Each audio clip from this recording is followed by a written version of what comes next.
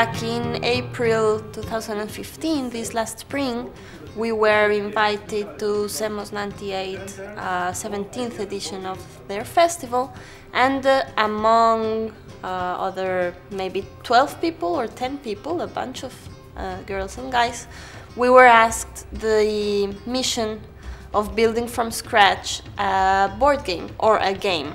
We only were given the title. It was going to be called Commonspoly.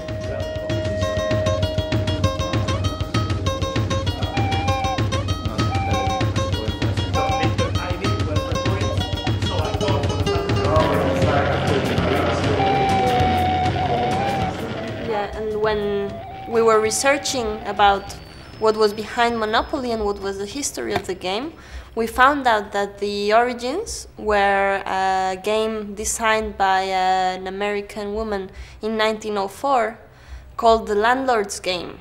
Its purpose, back in the beginning, was actually to show the kids uh, that accumulation was in the end not that good for the community.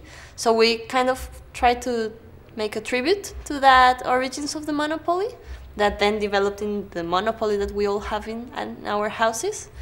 And uh, well, finally got this board, which is a hack of the monopoly. You can print it at home. You can actually play it on top of the monopolies we all have in our houses. And uh, it's not about accumulation, but sharing and common issues and well reflecting on urban environmental caring commons.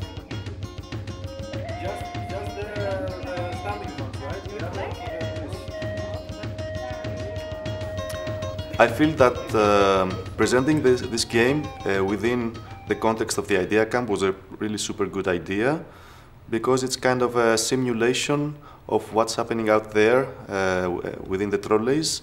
So out there you have people presenting their ideas and it's, it's, it's all about uh, discussing their ideas with other people, getting some feedback and uh, working all together to make something uh, even more powerful uh, that, than what they started with uh, in the beginning.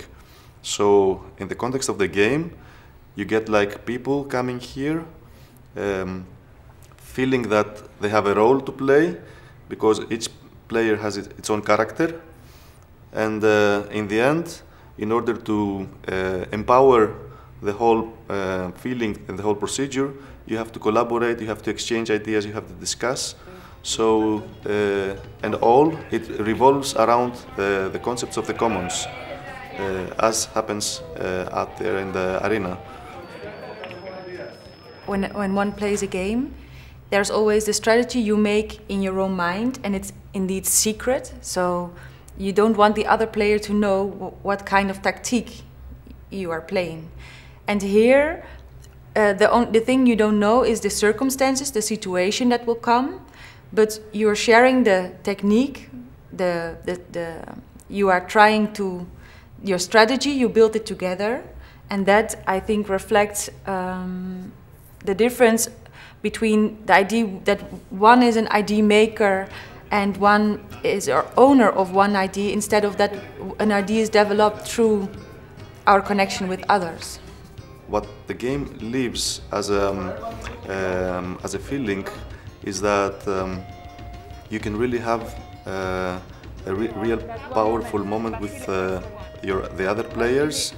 You can really enjoy all together and feel well about it. You can bond and uh, after the game you can you know you, you you feel excited. Everybody feels excited. And this is a situation which uh, empowers you to you know to feel optimistic about things